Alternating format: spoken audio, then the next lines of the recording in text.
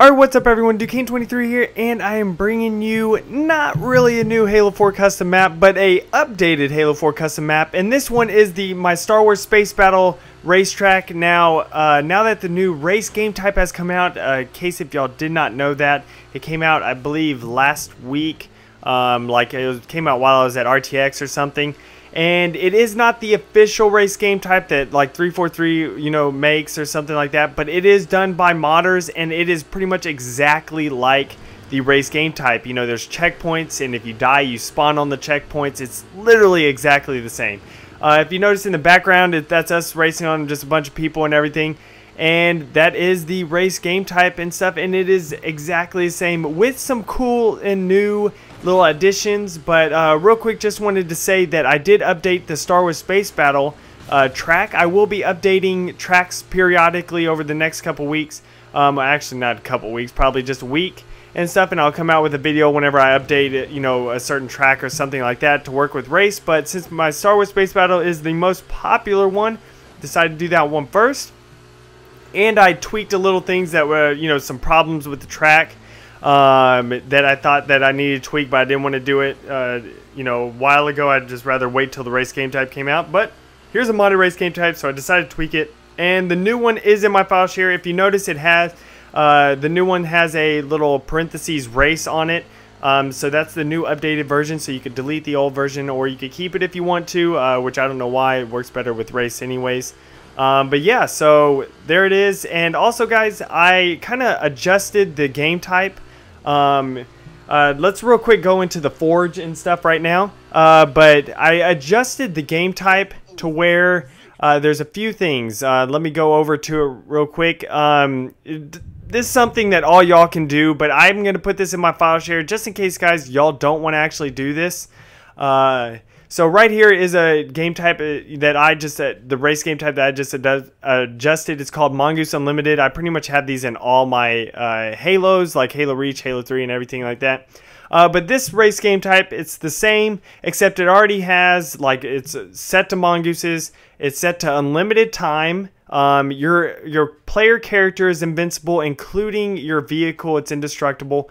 Um, and there's no grenades. Uh, so that way it's more like the original race game type where, you know, uh, you can't kill anyone or anything like that. And of course, no one has grenades, so they can't mess you up while they're racing if they fall off their mongoose. And of course, unlimited time stuff. Y'all could download that, or y'all could just go to the normal race game type and switch it uh, yourselves and everything like that. But, it, you know, I'm just to have that there just in case y'all want to download um, so you don't have to worry about things like that.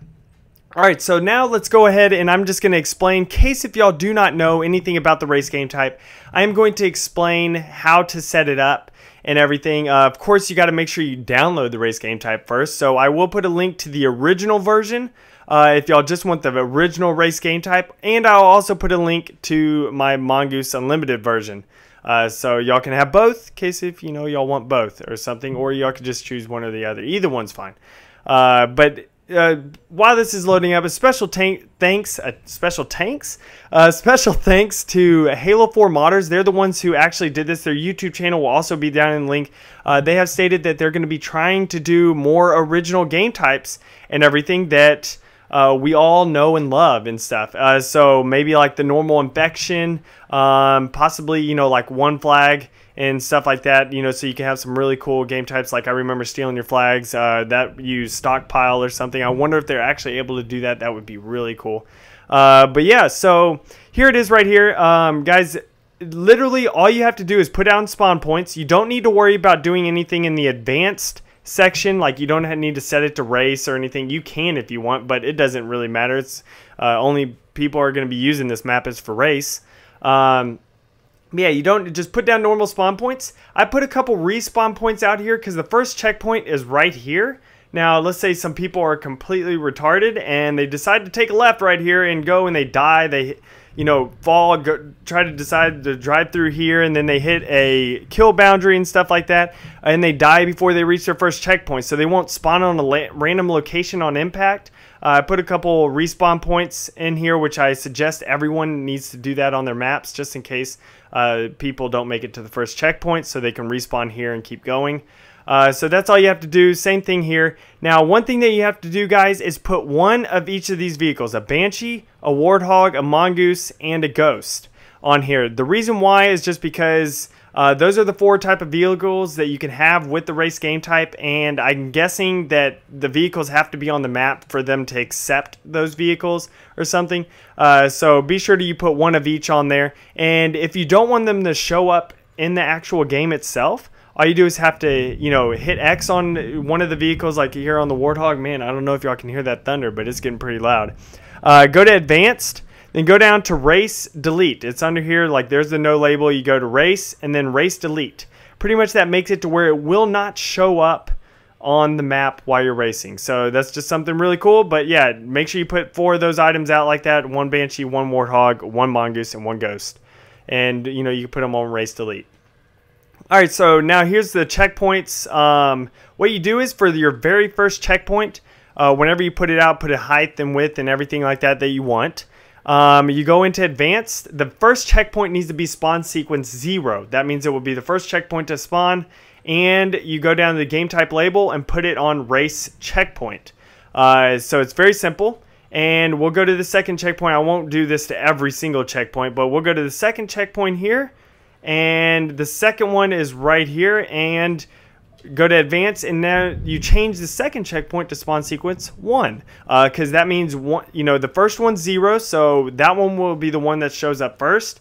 And once people cross over that one this is spawn sequence one so this will be the next one to show up and it's going in consecutive order and everything like that. And again game type label uh, race checkpoint. So i'm not going to go through all of them but the next checkpoint that's you know like i think it's right over there or something uh, you're gonna you know put that one as uh, the spawn sequence two, and then so on and so forth. You know, three, four, five, and stuff, depending on how many checkpoints you have.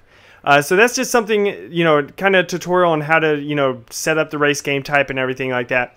Now there are some other really cool options and stuff that you can have with this new race game type that the modders made, and I love the fact that they did this.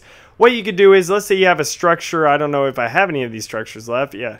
So let's say a bridge right here, and let's say I wanted to block this section off because a lot of people seem to drive through here. I'm just making this up, guys. Uh, but let's just pretend a lot of people drive through there and get confused or something. So I'm going to put that wall there, but if you don't want it to show up because that looks really ugly, like, you know, compared to the aesthetics, uh, you just hit X on the item, go to advanced, go down to game type label, and then you go to race hide. And whenever you go to race hide, that means whenever you start up the game, the object will still be there, but it will be invisible. So that way, you know, you can have invisible walls and stuff like that. It could be really cool. You can make invisible jumps. Um, you can make like an invisible maze and stuff like that, which is definitely really awesome. So that's pretty much how you set up the race game type. Um, now I'm going to go back into the main menu area because there's some really cool things. If y'all haven't already found out about the race game type, which I know probably some of you haven't, uh, I'm going to go back and I'm going to explain some things on the main game type and everything, uh, like the game type options. And there's some really cool stuff that the modders have added into this. Now, while this is loading up, I will say that I did talk to Frank O'Connor at RTX and he made it sound like they weren't planning to put in a race game type into Halo 4, which it really doesn't matter now because, well, you know, the modders made a race game type, so it works.